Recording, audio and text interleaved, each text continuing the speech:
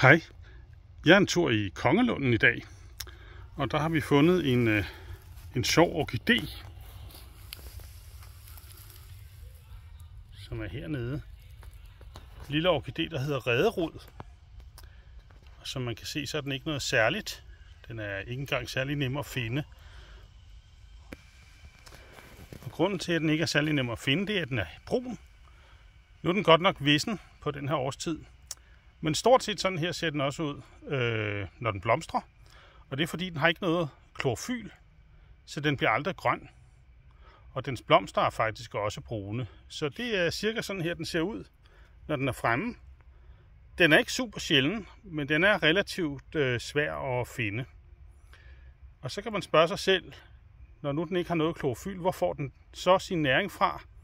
Ja, det får den faktisk ved, at den snylter på, eller har en eller anden form for samliv men svamp. Og øh, i dag var jeg så heldig at finde svampen også på den samme tur. Og den er endnu sværere at finde. Men nu går vi hen og kigger. Det ligner ikke sådan en almindelig paddehat. Øhm, den vokser hernede i et hul. Det tror jeg ikke, den gør almindeligvis. Men vi har den her. Det er en svamp, der hedder bævretalg. Krybende bævertal for at være helt præcis. Og øh, det er frugtlæmerne af svampen, man ser her. Der er en snegl, der vil have spist den.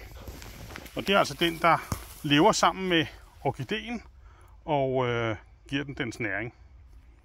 Så det er en sjov lille historie fra Kongelunden. Til afslutning vil jeg lige sige tak til øh, Svampeforeningen, både for at arrangere turen her, hvor jeg fandt øh, svampen, og også for at identificere den bagefter.